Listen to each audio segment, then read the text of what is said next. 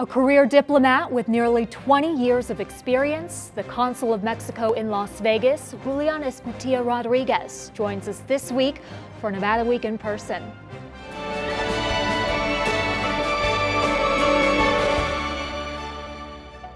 Support for Nevada Week in person is provided by Senator William H. Hernstadt and additional supporting sponsors. Welcome to Nevada Week in person. I'm Amber Renee Dixon. In 2020, Mexico made him the country's consul in Las Vegas.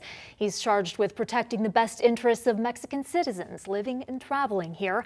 Julian Escutia Rodriguez, thank you so much for joining us. Thanks very much for having me. When I think of a consulate office, I think of getting your visa or getting a passport, but your role is a lot bigger than that. What else are you responsible for? Well, the consulates of Mexico are really immigrant integration centers. We help uh, immigrants better uh, integrate into the economy and society of Nevada in this case. Uh, we provide assistance in health issues, education issues, financial literacy. We also promote trade and investment uh, both ways, obviously. Tourism, that is very important for Las Vegas. And I'm the consul of Mexico in the whole state of Nevada. So I travel up north to do mobile consulates, to meet with authorities. So it's a very interesting job. Uh, one example of your statewide efforts would be in a scholarship that was provided uh, as a 10-year anniversary recognition of the of DACA, which was the Deferred Action for Childhood Arrivals program. That was in June, the 10-year anniversary. Uh, first, will you remind us what DACA did, and where were you at that time? You were working in this field. What did you think?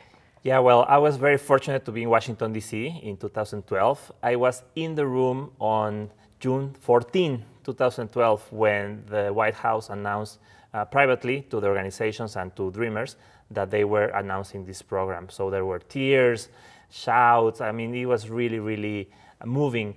And we have served over uh, half a million Mexicans that are benefiting from this program that allow them to work and drive and have families. And so it's a very important program for, for Mexico and for all immigrants. Uh, this year, I decided to uh, raise some money to have a bigger uh, uh amount, amount of uh, scholarships for adult education and dreamers. So undocumented people do not have access to the regular scholarships that are out there, federal or state. So I wanted to have more resources for them uh, that they want to continue their studies, but sometimes they lack the resources. So uh, with these scholarships, they will make it. And remind people what Dreamers are, because it's been a while uh, since that passed, and, and I think some people may have forgotten. Yeah, so Dreamers is, is, a, is a big uh, group of people, uh, undocumented youth. The thing is that many of them are not that young anymore. I mean, obviously they're young, they're 32, 35, it depends. So it's basically undocumented people that went through college and high school, and now they have jobs. And through DACA, they are able to that to do that legally. And they were brought to this country as young children and grew up here. So for them to return to that country wouldn't have made any sense. yeah, them. so they are Americans uh, by all means and they have contributed to this country so much. They have benefited so much from this country. So it, it just makes sense that they stay, they stay here and continue thriving.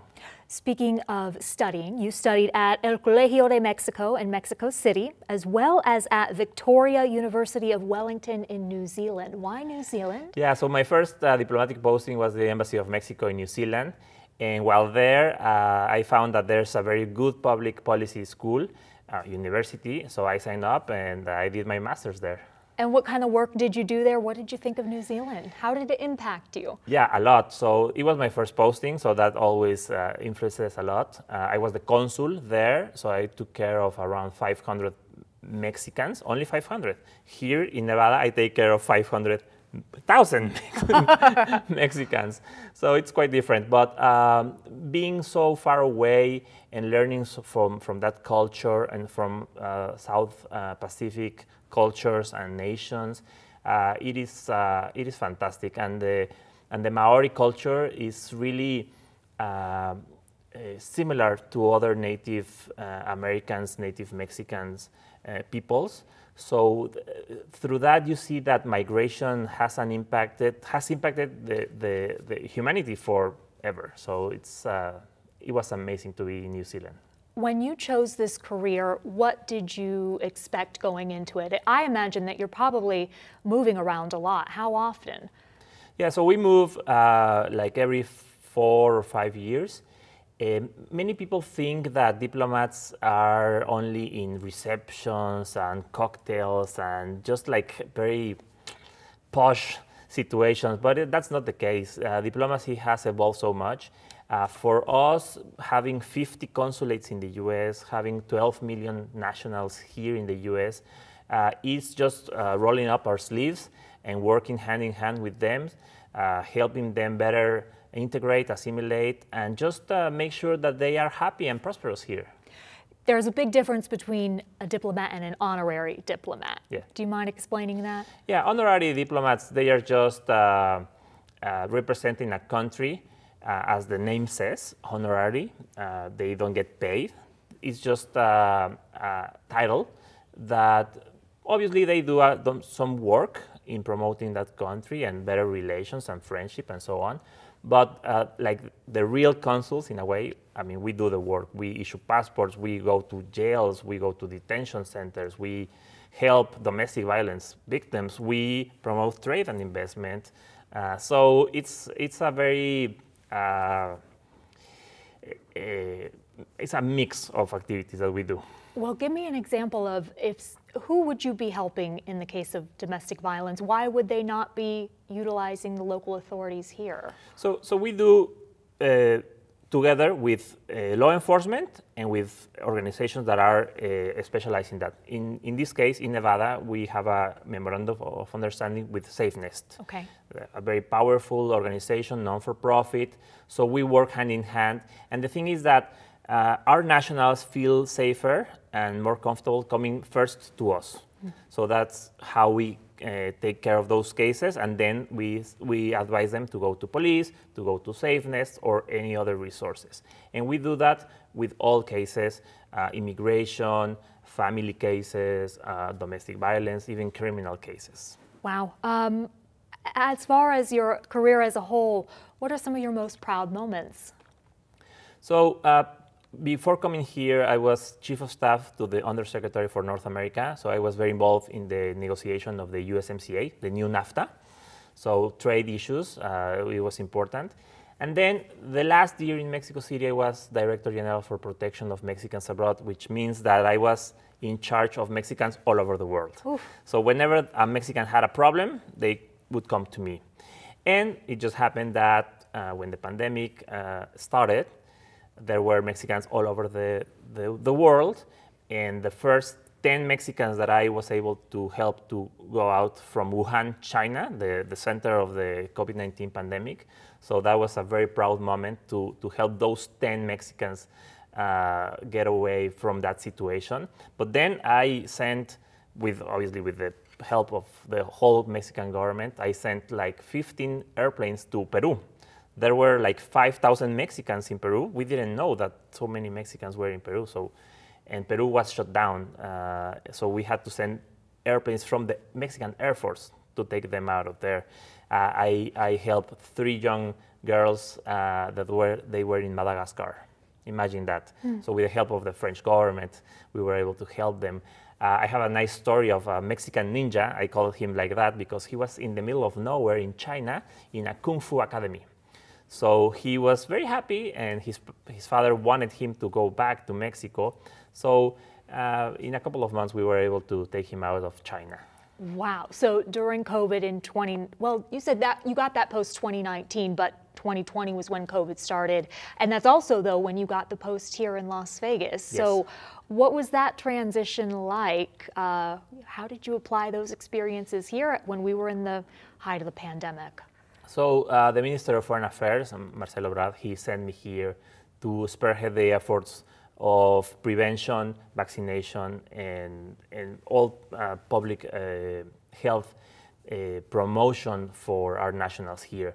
Uh, obviously, there, here the authorities were doing a great job, but I was just adding the Spanish component to it, the Mexican component, and so I got really uh, into it right away. And I dedicated most of my time, I think my first year here, it was 100% dedicated to public health.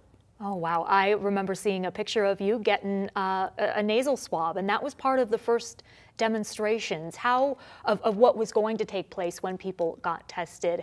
How was the process of informing of informing the public? Um, did you fear that you wouldn't get as much participation uh, in testing and vaccinations, or was that ever an issue? So misinformation and lack of information has been uh, our worst enemy in this pandemic. Um, so we were able to, to get the message across in Spanish. Uh, we went to the neighborhoods, so we use media and social media.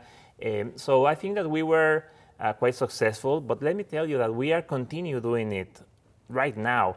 So now that uh, young kids from uh, six months of age to five years of age, they can get the vaccine, we are launching a new campaign, very active, to get those children uh, vaccinated.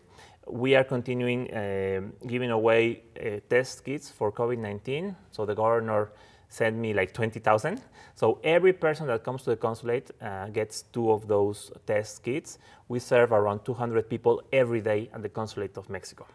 Have you found hesitation from parents about getting their kids vaccinated? Yes, there, there is uh, hesitation, but I attribute it to lack of information and misinformation. There's a lot of misinformation. So we are debunking those myths, we are tackling those issues, talking family per family, one by one. You've been here two years now. What have your takeaways of Las Vegas been? What are your hopes and goals for this area? So there's a lot of mis, uh, misinterpretation about Las Vegas, no? So in Mexico, people think that Las Vegas is just a strip, mm-hmm. and it is not. It's much more than that. There's construction, there's nurses, teachers, everything. I mean, Mexican nationals work here in all fields. So uh, I want to make sure that they are happy, that they are prosperous, they are safe, and that they are contributing as a whole to the well-being of Nevada how do you get that message across back home about what the reality is of Las Vegas? So I, I go back quite often. We have video conferences, Zoom, and all of that. So um, they are pretty aware that there's opportunities here for Mexican businesses, for Mexican people. And, and the message is, uh, I, I, I don't get tired of repeating that we are not an island in the middle of Las Vegas. It's not little Mexico. No, we are part of Las Vegas. We are part of Nevada, and we want to contribute to the well-being of the whole state. And perhaps you're telling them about places like Henderson, for example. You could come and work in Henderson. Oh yeah, eh, there's so many opportunities in Nevada. There's so many jobs. And so, I mean, it's just a matter of reaching out to the consulate, follow us on social media, watch our stories and, and I mean, or knock at my door. I'm there every day from 8 to 5. So you can knock on my door and I'll open the door and talk to you. Have you found a favorite Mexican restaurant? There are some good restaurants here. Uh, I think that there's opportunities for better ones. Okay. so hopefully some uh, entrepreneurs are listening to me now and, and check it out. There's a lot of growth and a lot of interest in Mexican food here uh, in Las Vegas. Uh, in the arts district and downtown Las Vegas, there are new places opening up. So I, I encourage everyone to take a look at them. What is the specific kind of food you want to be made better here? I mean, all Mexican food. I mean, tacos are really good here because there are taco trucks and others, but uh, like more fine Mexican cuisine, that would be good. Thank you so much. Julian Escutia. Rodriguez, Consul of Mexico in Las Vegas. Thank you for joining us. For more Nevada Week in person, go to vegaspbs.org slash Nevada Week in person.